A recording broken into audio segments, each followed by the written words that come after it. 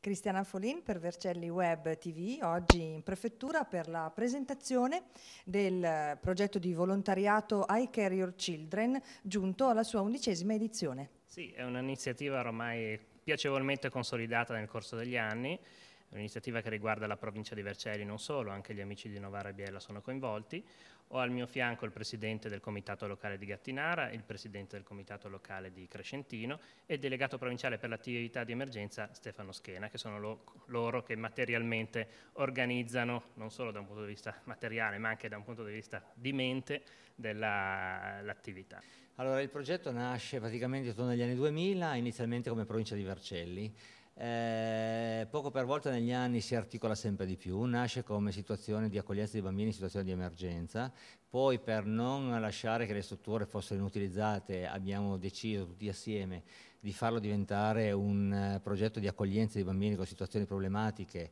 eh, in Valsesia per regalare una settimana di vacanza, comunque nasce così e poco per volta si articola, si articola sempre, sempre di più, eh, tant'è vero che quest'anno le province coinvolte saranno ben quattro, perché oltre a Vercelli, Biella, Novara c'è anche Torino, che quest'anno è stata coinvolta,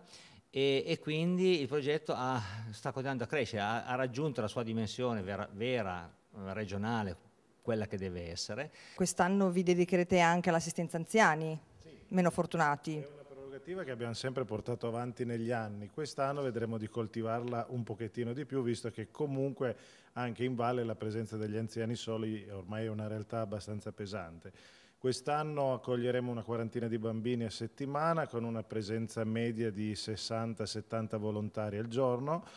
il tutto lo abbiamo deciso di rifare nella frazione di Roccapietra vicino a Varallo perché era il terreno più idoneo, perché grazie comunque agli enti locali che ci hanno dato un grossissimo supporto cercando di adeguare l'area alle nostre esigenze, ai vigili del fuoco, riusciamo a soddisfare tutta una serie di esigenze logistiche che negli altri anni abbiamo fatto edizioni prima a Scopa e a Scopello, però erano località troppo piccole ormai per accogliere questa, questa realtà che ormai è veramente grande. Sì, come ha detto Stefano, siamo ormai un team abbastanza collaudato, chiaramente il campo per funzionare necessita anche tutta quella struttura logistica che la Croce Rossa Italiana normalmente mette in campo in situazione di emergenza e qui viene messa in campo in situazione ovviamente non di emergenza ma in funzione esercitativa sia per supportare il campo ma anche proprio per il proprio personale per avere conoscenza e preparazione per eventualmente affrontare una situazione di emergenza. Il campo ospiterà nel totale circa oltre 170 volontari della Croce Rossa Italiana nell'arco delle due settimane e chiaramente verrà eh, gestito giornalmente sia per quanto riguarda le funzioni di cucina, quindi con una cucina da campo in grado di preparare 300 pasti al giorno,